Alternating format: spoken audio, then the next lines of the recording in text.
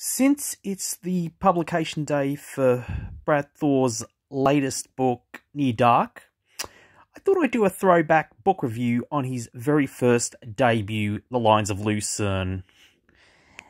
And as you can see, what a absolutely cool book cover. It's just awesome. wouldn't you wouldn't you agree, folks? Now, the plot is while the president is taking a skiing vacation with his daughter, a group of Swiss a group of mercenaries attack, wiping nearly all of his Secret Service detail and kidnap and kidnap in, and kidnapping the president.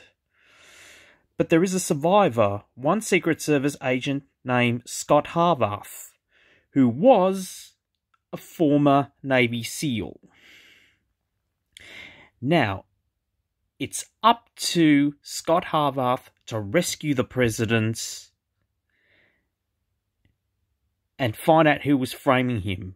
He's also up against a lethal cab- cabal of conspirators. Now, this, is to me, is what I call an awesome novel. It's got great characters, awesome bad guys, a lot of cool, fantastic action sequences, and a lot of mountain climbing scenes, which, which surprisingly um, also reminded me of Cliffhanger and compelled me to check that movie out again, which, which I really enjoy. This is one of the this is sort of like a really, really awesome debut. Why Brad was the king of faction, why he's awesome to follow on social media, and why he's had like an awesome streak of great novels. You got to read the book series. It's a, it's a, it's a must in my view.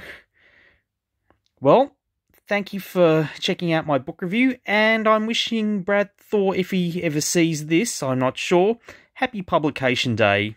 Bye.